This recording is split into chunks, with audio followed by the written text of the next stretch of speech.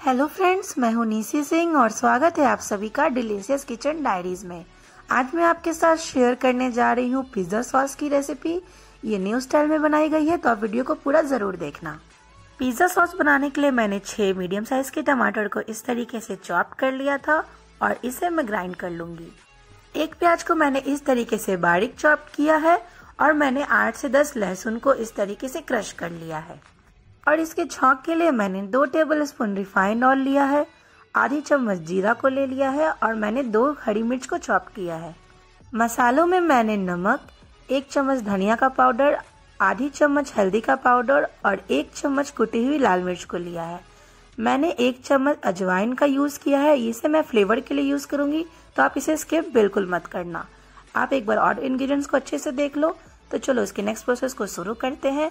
पहले मैंने पैन को गर्म कर लिया और उसमें मैंने ऑयल को ऐड कर दिया। ऑयल के गर्म होते ही मैंने इसमें गार्लिक ऐड कर दिया है और मैं इसे एक मिनट तक लो फ्लेम पे भून लूँगी। उसके बाद मैंने इसमें जीरा को ऐड किया है। जीरा को ऐड करने के बाद मैं इसे चला करके मिला लूँगी। हमने इसमें तेल का यूज़ कम किया है और अब मैं यहाँ पे चॉप चिलीज को ऐड कर दूँगी और इसे भी एक बार चला के मिक्स कर लूँगी।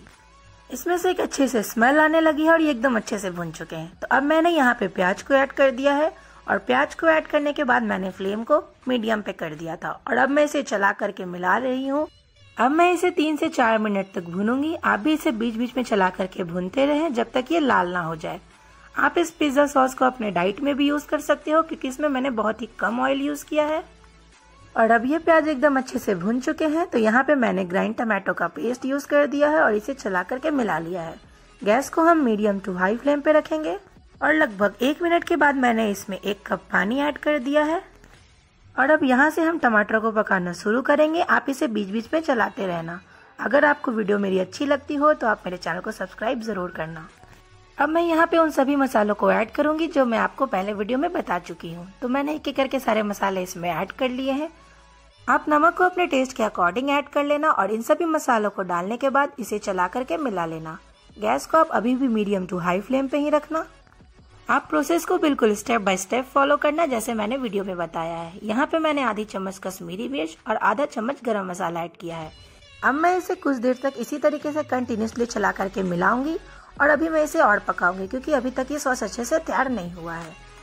टेस्ट को बैलेंस करने के लिए मैंने यहाँ पे हाफ़ चम्मच शुगर ऐड किया है और उसके जस्ट बाद मैंने अजवाइन को ऐड कर दिया है। उसके बाद आप इसे चला करके मिलाएँ और इसे और पकने दें। इसे मैंने ढक करके पाँच मिनट तक पकाया है लो फ्लेम पे, और उसके बाद आप इसका टेक्सचर देख सकते हैं। ये एकदम सही हो चुका है, और अब मैं यहाँ पे फ्लेम को ऑफ़ कर दूँगी और इसे सर्व कर लूँगी। फ्लैश की वजह से इसका कलर थोड़ा चेंज दिख रहा है तो आप इसे इग्नोर करना। जब तक मैं इसे सर्व कर रही हूँ, तब तक आप मेरे चैनल को सब्सक्राइब करो और वीडियो पे लाइक और कमेंट ज़रूर करो और मेरी सारी प्रीवियस वीडियो को भी ज़रूर देखना। Thanks for watching guys